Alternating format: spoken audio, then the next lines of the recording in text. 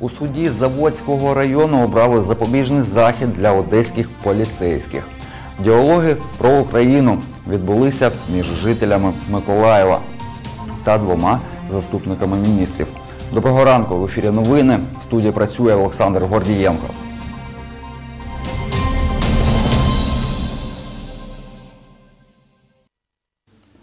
Тримання під вартою з правом внесення застави у Заводському суді Миколаєва обрали запобіжний захід двом поліцейським з Одеси, яких підозрюють у катуванні. Першою розглянули справу Сергія Никончука. Олена Троянда, захисниця підозрюваного, спростовує докази обвинувачення. Зокрема, говорить щодо заяви потерпілого, яку вважає сфальсифікованою. Або два погодіни, або це писали зовсім інші люди. До цього питання ми, звичайно, повернемося не в рамках цього провадження. І я хочу звернути вашу честь, вашу увагу на протокол проведення слідчого експерименту. А тут взагалі третя людина підписувала за Погодіна.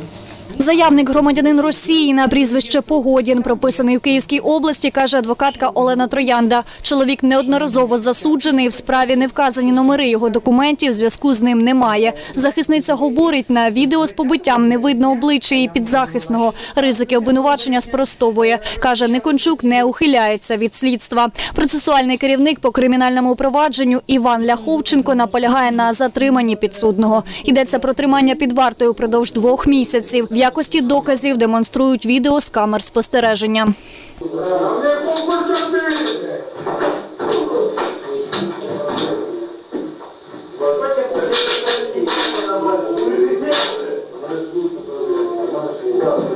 Суддя Сергій Щербина оголошує рішення. Тримання під вартою відносно Нікончука Сергія Ігоровича 95-го року народження, підозрюваного в вчиненні кримінального правопорушення, передбаченого частиною 2 статті 127, визначити розмір застави, після внесення якої підозрюваний повинен буде звільнити, е, бути звільнений з-під варти в розмірі 100 прожиткових мінімум для працездатних осіб, що становить 200 тисяч 700 гривень. Ви чули все, що я говорила в судовому засіданні, і у мене, звичайно, не може бути іншої думки.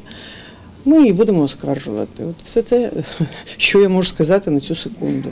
Перерві між слуханням справи Сергія Никончука розпочали обрання запобіжного заходу другому фігуранти справи Михайло Кривокоритову 1993 року народження. Один з захисників підозрюваного Рубен Степанян каже, його підзахисний застосовував силу за зухвалу поведінку неодноразово засудженого чоловіка. До матеріалів справи додають документи, які підтверджують Кривокоритов єдиний годувальник родини. Має непрацюючу жінку, семимісячного сина, батька пенсіонера та онкохвору матір. Свідком викликали дружину, що звернулась до судді не обирати запобіжний захід та заставу. Стосовно е, застави, які пропонують, е, які є в клопотанні про обрання е, застосування про застосування заходу, також в мене немає такої суми, щоб внести за мого чоловіка. Стосовно ризиків, які е, також е, прописані в клопотанні, то можу сказати, що е, згідно статті 177 е, Кримінального процесуального кодексу ризиків не, може бути, тому що мій чоловік процесуально виконує свої обов'язки. Суддя Сергій Щербина оголосив запобіжний захід тримання під вартою до 8 грудня 2019 року. Сума застави становить 401 тисячу 400 гривень. Наші дальніші действия. Наші подальші дії. Ми представимо інтереси разом з адвокатом Артемом Питомцем, і ми вже в подальшому, звичайно ж, будемо подавати апеляцію на це рішення. Заводським районним судом міста Миколаїв, Миколаєва обрано запобіжний захід Никончуку та Кривокорикотову заставу е, тримання під вартою із заставою. Е, Надання оцінки вказаним рішенням буде е, після отримання повного тексту вказаного рішення. Нагадаємо, під час патрулювання залізничного вокзалу у місті Одеса 1 червня 2019 року поліцейські затримали двох людей через підозру у крадіжці золотого ланцюжка. Правоохоронців Державне бюро розслідувань підозрює у фізичному насиллі над людьми, аби отримати покази. Підозру поліцейським вручили 7 жовтня. В разі доведення вини їм загрожує від 5 до 10 років позбавлення волі. Катерина Балієва, Олександр Гресь, Юлія Філімон, Сергій Куропятник. Новини на Суспільному. Миколаїв. Представники миколаївських громадських організацій та волонтери висловили свою позицію відносно формули Штайнмаєра під час зустрічі з заступником Ради національної безпеки і оборони Сергієм Кривоносом та заступником міністра закордонних справ Василем Боднаром в рамках проєкту Діалоги про Україну. У залі обласного палацу культури зібралось близько пів тисячі містян. Перші кроки, які ви е, кажете, що потрібно довіритись тій стороні, а також зробити дзеркальне розведення, то ну ми вже це проходили.